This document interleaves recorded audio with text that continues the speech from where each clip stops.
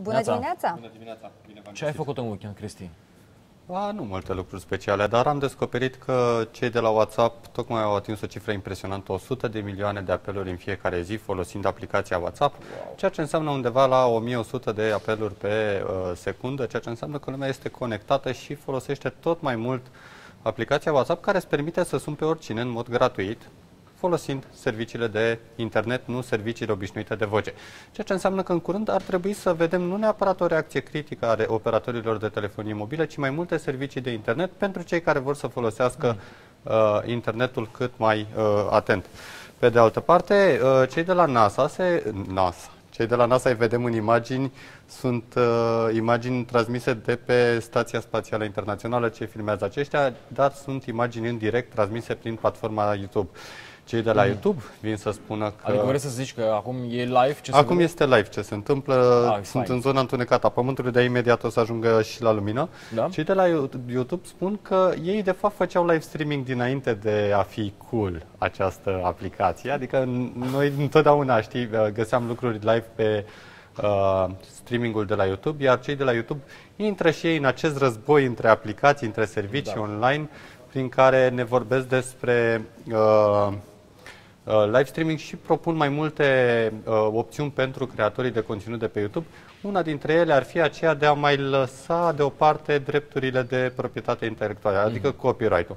Gen, poți să spui o muzică pe clipul tău, că lumea a început să plece de pe YouTube tocmai din cauza asta, din cauza restricțiilor mm-hmm. de Dar acest monetizare. live uh, streaming unde îl poți vedea? Uh, pe pagina YouTube principală, undeva jos acolo găsim uh, aplicațiile de live și, bineînțeles, vedem imaginile transmise de pe Stația Spațială Internațională. Și tot vorbim despre Google și Facebook, aceștia vor să elimine automat clipurile pro-terorist de pe internet. Cum le identifică?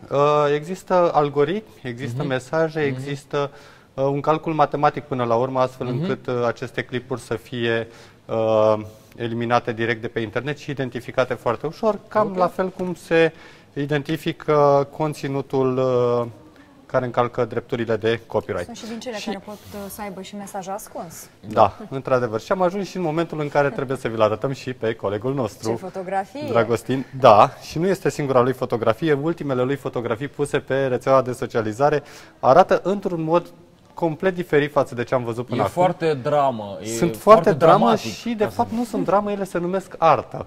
Da? Și sunt, într-adevăr, și sunt create Au. cu o aplicație care se numește Prisma, este dezvoltată de către un rus, este sponsorizată de către uh, rețeaua de socializare OK.ru, se găsește doar pentru dispozitivele iOS, iar în momentul de față această aplicație uh, este una dintre cele mai populare din uh, App Store și cei de la uh, din presa internațională de tehnologie spun că această aplicație va crea mari probleme utilizatorilor uh, și pictorilor uh, interes, cei care pictează.